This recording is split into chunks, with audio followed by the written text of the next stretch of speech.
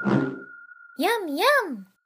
William Vaughan here with a quick tip for generating a curve cage from polygons in Modo. Start by creating a few mesh primitives using small side and segment values. This will generate a less dense curve cage later in the process. Select all the polygons you'd like to convert into a curve cage. Activate the patch tool and set the mode to define patch. Left click in the viewport and then drop the tool. Drop your selection and in statistics, select all the curves by clicking on the plus sign next to curves. Cut and paste the selected curves into a new mesh item and hide the original mesh item in the item list. We now have curve cages that we can use in a variety of ways. You could use the curves as a foundation for a more complex structure you plan on patching with the patch tool. You could also use the curves to simply render tube structures of your mesh using the Render Curves option. There are many tools that take advantage of curves in Modo, so be sure to explore the endless amounts of uses these curves can be used for.